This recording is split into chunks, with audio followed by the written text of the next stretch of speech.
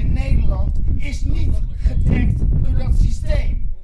Hoor je wat ik zeg? Er was dit jaar was er een, man in Hawaii die had een fout gemaakt. Die had een sms gestuurd naar alle, iedereen in Hawaii. Er komt een raket aan. Je hebt nog 12 minuten de tijd om te vluchten. En iedereen kreeg die sms in Hawaii. Eh, die man ook. Die is ook gevlucht.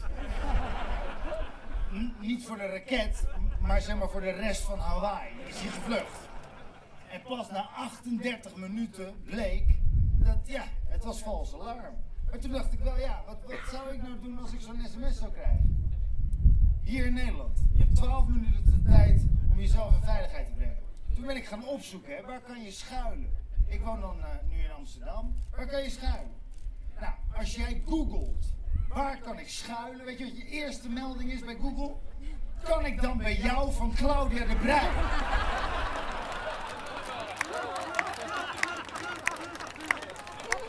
Ah, sorry, maar dan sterf ik liever.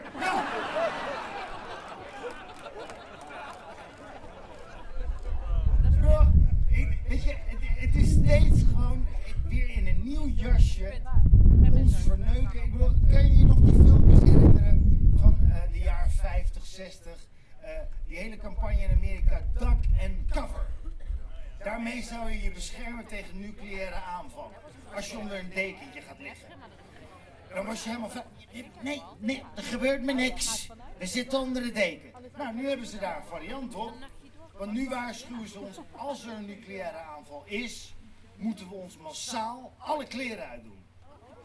Prima! Maar dan vind ik dat we dat maandelijks moeten oefenen. Weet je, mensen denken wel eens dat ik dingen tegen bejaarden heb. Dat is bullshit. Maar, ik moet je zeggen, ik, ik, ik woon tegenover een bejaardenhuis. En ik observeer die mensen in een natuurlijke habitat. En als je dat doet, dan kom je erachter dat de dingen niet kloppen. Ze zitten altijd alleen op een kamer. En dan lees ik in de krant, we zijn zo eenzaam. Dan denk huh? Je zit met z'n allen bij elkaar. Je kan letterlijk een deur naar links, deur naar rechts. En je bent bij elkaar op visite. Maar daarmee bewijzen ze dus, bewijzen ze dus, bejaarden hebben net zo min zin om bij bejaarden op visite te gaan dan wij. Dat is het hele probleem. En, en ze houden ons voor de gek, want ze zeggen dan, oh nee, bejaarden hebben geen seks. Bejaarden neuken als konijnen. Hoe kan het anders dat er steeds meer bij komen? Denk dat toch eens na, man. Uit een onderzoek blijkt dat dit jaar eh, is er een nationaal seksonderzoek geweest. Blijkt dat eh, eh, mensen tussen de 18 en 88 hebben drie keer per maand seks. En ik las het en ik dacht.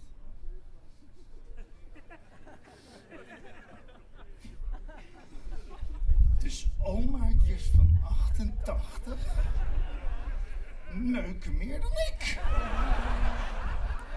Sindsdien sta ik niet meer voor ze op in de trein. Nee!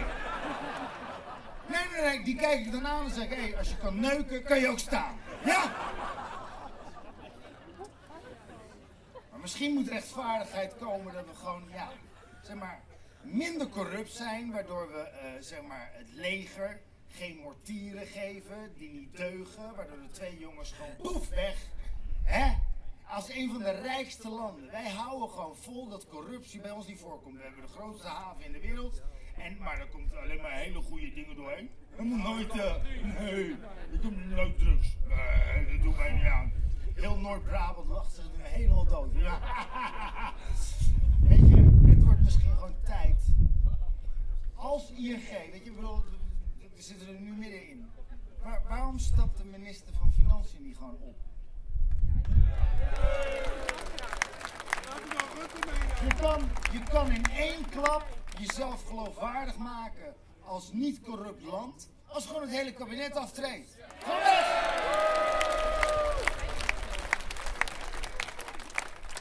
Ik zal je even wat voorlezen, eh, iets wat ik eh, vond. Eh, ik zweer dat ik mijn functie integer en zorgvuldig zal uitoefenen.